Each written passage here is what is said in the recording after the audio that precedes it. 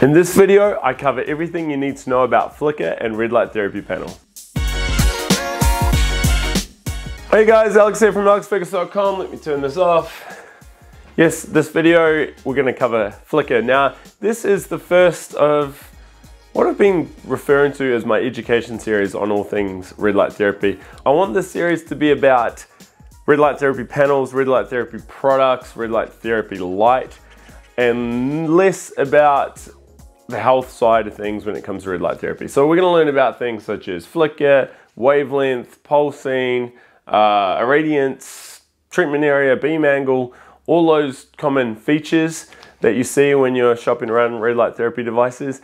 I'm going to break them down, explain what you need to know, what you need to look out for, um, what's good, what's bad, that sort, of, that sort of thing. So if you're keen to learn more about this, yeah, be sure to subscribe because um, I am going to be doing one of these videos every month for a while now. So uh, yeah, have heaps of cool content and I'll still be doing my reviews, my news, and all that other neat stuff. So, first things first, what is flicker? Well, it is effectively the change in brightness from a light. So, if we have an LED light, as we do behind us, we have the Mito Red Mito Pro 1500 here.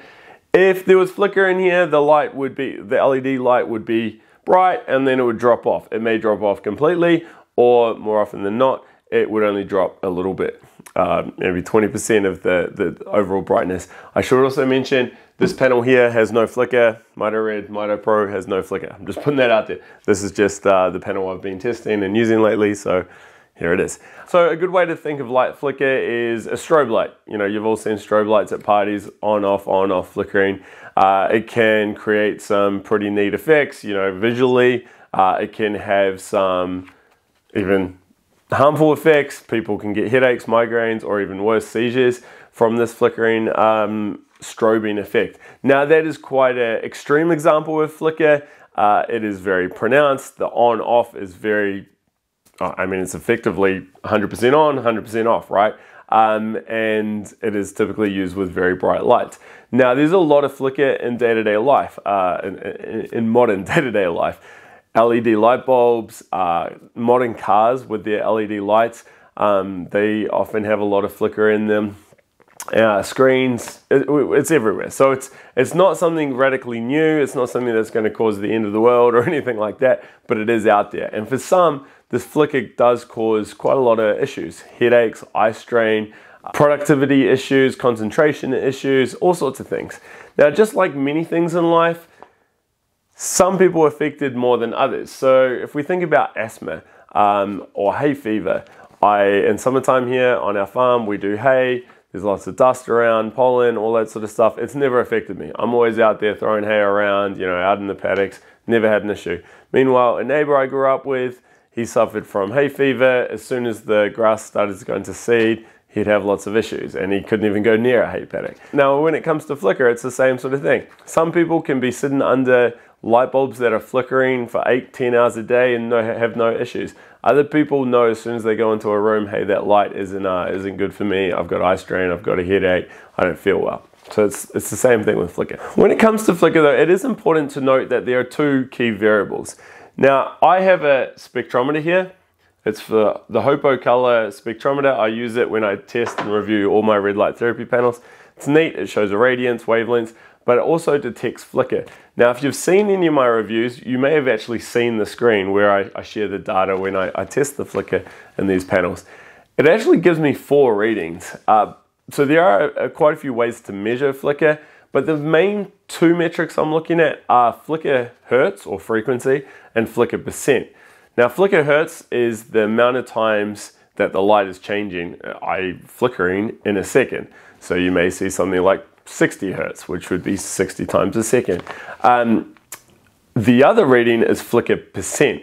Now, what, what this shows is the change in brightness.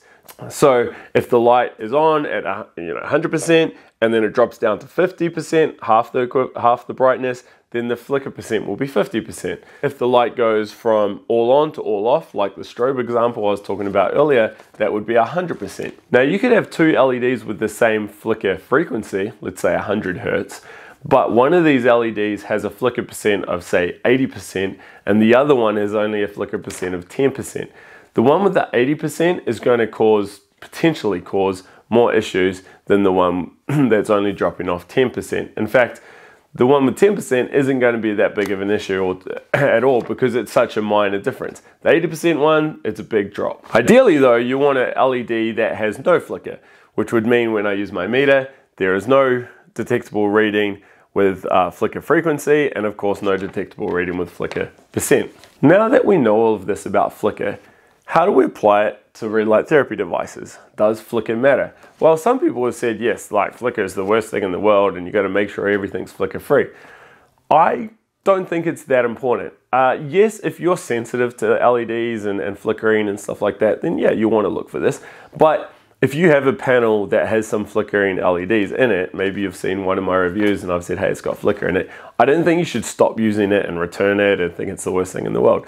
And here's why. Firstly, most of the issues people have with flicker are from chronic long-term exposure. You're sitting under a flickering LED for eight hours a day, five days a week and you notice over time your eyes are always stressed or you feel a little bit you know sore neck uh, headache or you just feel drained another example is you're looking directly at the light maybe it's a screen you're working on or you're a machinist and the light's right above your eyes and you're again you're exposed to it for a long time and it's right there when you're trying to concentrate on a particular job we don't really have that issue when it comes to red light therapy devices if you're like me you may use your red light therapy panel for say 5 to 20 minutes a day, maybe 3 to 5 times a week. When you're using it, that's not much really in the scheme of things. The other thing I should point out is you're not necessarily looking right at the lights. For instance, I might have my back to it, or I may be doing the side of my, of my body or face. And the other thing is, um, you're typically not doing a cognitively demanding task when you're using red light therapy. In fact, a lot of the times I'm just doing breathing exercises or um, reading a book on my phone or just listening to a podcast. I'm not really uh, doing some high level brain activity work when I'm getting my red light therapy fix. Another thing is, I've been involved in the red light therapy space for years. I've tested and used a lot of red light therapy panels. A lot of the earlier panels had a lot of flicker. I had no idea about it back then. But I did know that I had amazing benefits. I had amazing results when I'd use red light therapy devices. It's part of the reason I, I continue to review them and talk about it on my channel today. And it's the same with thousands of people out there. I get dozens of messages or comments a week where people say, wow, I finally, you know, I got a red light therapy panel, my knee pain's gone, or I feel so much better. Uh, every now and then I'll get some, I'll get a comment. It, it's very rare, but I'll get a comment where people say, oh, I used it, it wasn't as good as I hoped, or I didn't notice anything. But I can't think of any instance where people have used it and said, hey, I get a headache when I use it, or oh my god, my eyes hurt, or I feel dumb when I use it, or anything like that. I've never heard of any issues like that. I may have heard of one person who said, oh, it caused their skin to be a bit sensitive, uh, and that may be one of the very few negative uh, responses that I've heard of. But if you think about all the glowing reviews, all the people that rave about red light therapy, if flicker was an issue, you wouldn't see as many. Or you would hear people say, hey, my joints feel better, but I get a headache. Uh, but we don't see that. So again, I'm not saying that's proof and hard evidence that saying flicker doesn't matter, but it's something to factor in and think about when you are if you are worried about flicker and red light therapy. Finally, and this is the most important, probably the best reason of all, today most, if not all, of the red light therapy companies out there, at least decent companies, they're pr- producing products that have no flicker anyway. So it's becoming a bit of a moot point. Back in 2019, I compared six body panels, red light therapy body panels, uh, and I tried to determine the best body panel. I'll put links to that below if you want to check it out. Out of those six panels, five of them had flickering LEDs. One didn't, and that was the red light rising panel. Fast forward to 2021, I did the same comparison series, this time with 12 panels. The market's grown that much. Uh, so I tested 12 panels. Out of those 12 panels, only two of them had flickering LEDs. And I should note, out of those two panels, one of them was also featured in my 2019 comparison series. So it was an old panel. So pretty much that means if you're buying a panel today, uh, flicker shouldn't be an issue. It's only really if you're buying older panels or perhaps you're buying super cheap panels from a company that's just started up and doesn't really know what they're doing. Pretty soon, though, if they've been around long enough, they'll get enough feedback. They would have watched my reviews, and they'll know that hey, we should um we should up our game a little bit here and have a panel that has no flickering LEDs. So now that you've watched all this, you might be thinking, well, does my panel have flickering LEDs in it. If you're unsure, check out my reviews on my YouTube channel. If I've reviewed your panel, I like I said earlier, I test for flicker in it, so you can watch that video. Otherwise, check out my 2021 uh, comparison series with the 12 panels in it.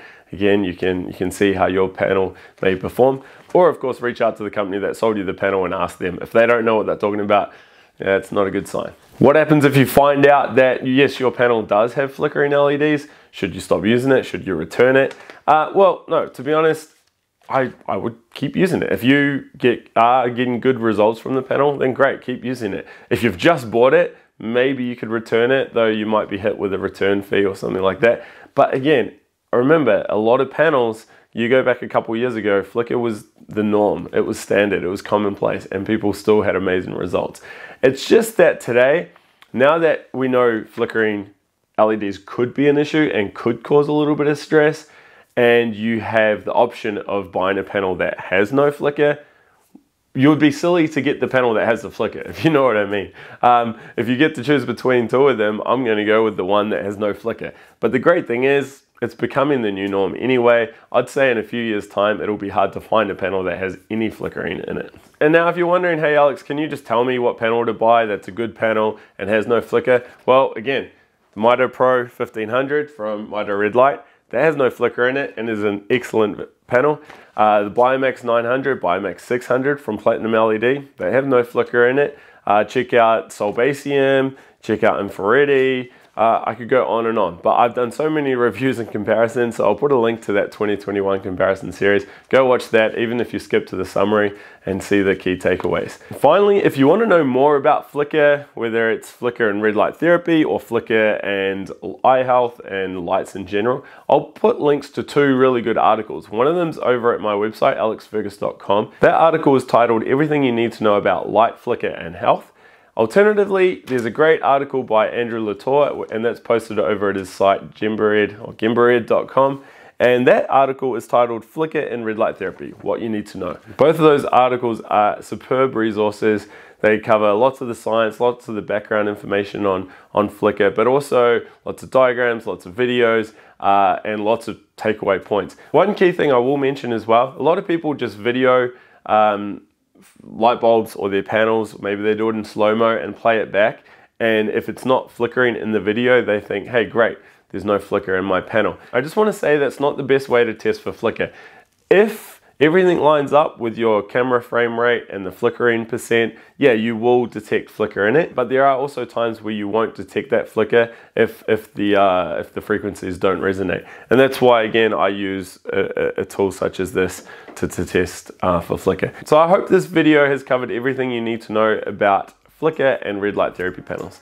But in a nutshell, don't worry about it. And if you are worried about it, then just go out, find a panel that has no flicker in it, and away you go. And the good thing is, it's quite easy now to find panels that have no flicker in their LEDs. If you've enjoyed this video, give me a like, thumbs up. If you have any more questions, leave them below. Should also mention, if you want to purchase any red light therapy panel, be sure to use discount code ALEX. It does save you a little bit of money and helps me continue to test and review products on this channel. All right, guys, I'll see you later. Bye.